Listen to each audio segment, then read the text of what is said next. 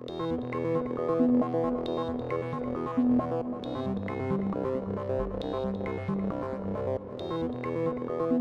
you guys ready to eat? Okay, okay. Let's wait for the slides. Good afternoon. My name is Uma Valeti. I'm the CEO of Memphis Meats. We're making delicious meats safer, better, and healthier for you, the planet, and the animals. We are a group of health experts, scientists, and culinaries that came together to transform an industry that's badly in need of it.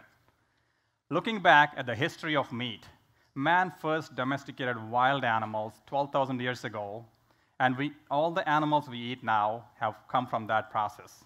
And this has led to a global love for meat across the world. Every culture and every country, the majority of people eat meat. In fact, 90% of the world's population eats meat.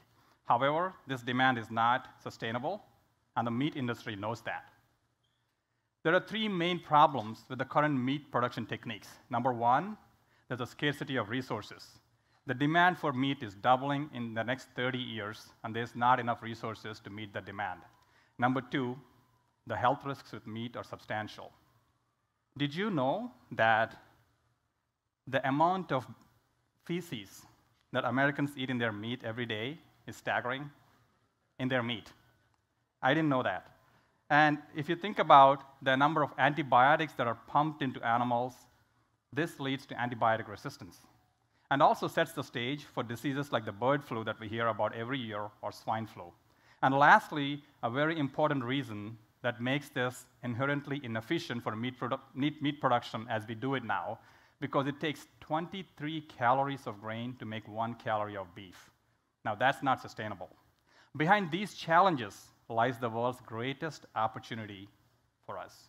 And what we're doing is by starting with growing pork and beef into delicious meats that we're all used to eating and targeting the 500 billion market opportunity in the US and Europe.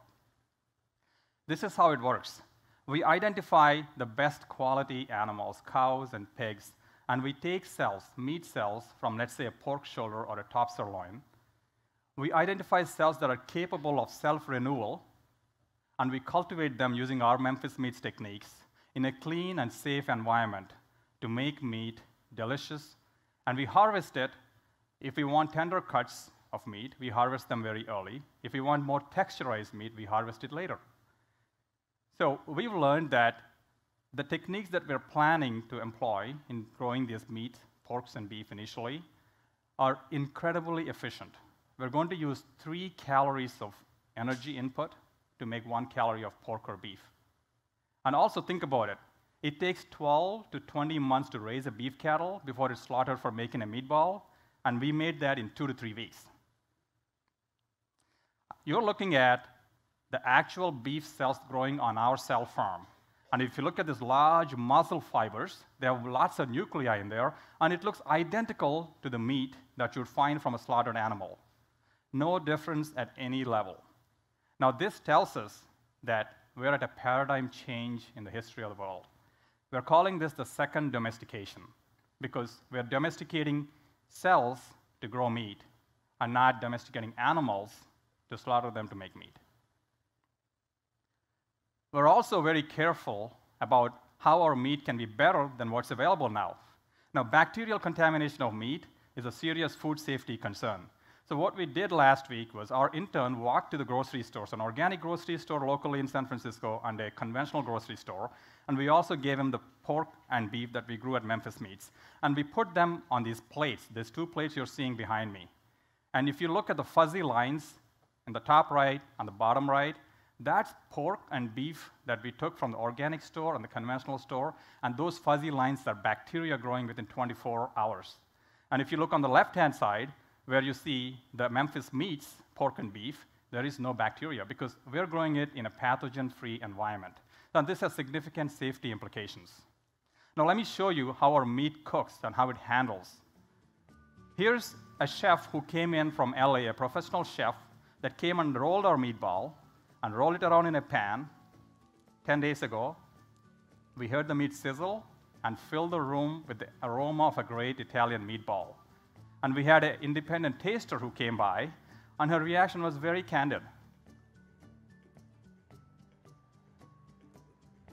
It tastes like a meatball. That's good.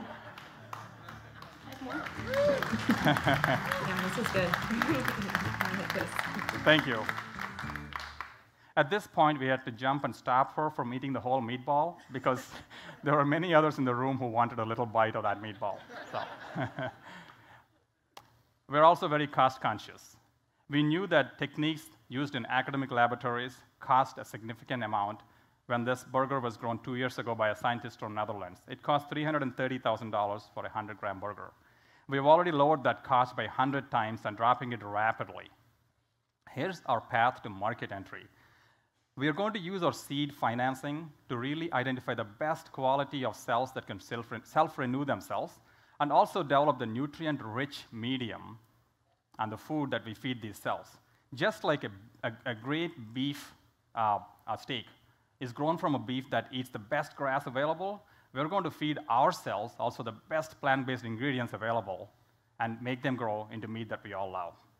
We subsequently are going to use our techniques to scale up, to go to production scale, so that we can start off with meat chefs who actually know how to cook the meat and make it tasty and we want to be in restaurants, in some specialty restaurants within three years, and subsequently scale it up based on their feedback so we can be in retail within five years. We've been very fortunate to have incredible coverage from the Wall Street Journal and many other media outlets this week. And we've been humbled, excited, thrilled from the global response for people waiting for the Memphis Meats products. It's a small poll here, but 15,000 people were polled by an independent individual named Sam Harris on Twitter, and 83% of them said they'll absolutely switch to our products if it's identical to meat, and we are making meat. So, we also had this video that we released that went viral with about 4 million hits as of this morning, growing by a million every day. And we're just hitting a nerve because the world, I believe, sincerely is ready for reinventing how we eat meat and so should the meat industry.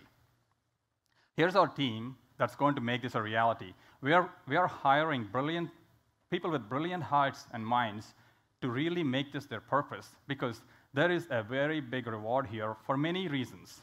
I'm a cardiologist, you met me, and my focus is really to laser focus our team to make it better, safer, and healthier for all of us.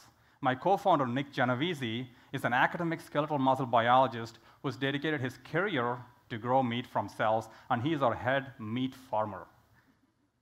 Uh, we also have a third co founder who's unique in his own way, Will Clem, a tissue engineer, who also is a third generation barbecue restaurant owner from Memphis. and his family and extended family own 43 barbecue restaurants. And he's incredibly excited about handling this meat and can't wait to try his recipes. We also have Morgan, who's a phenomenal food scientist from Davis who can make anything taste edible, and great. And I want to have a shout out for David Kay, our marketing intern from Stanford, who's been handling all the media attention we didn't plan for or expect, but very grateful for.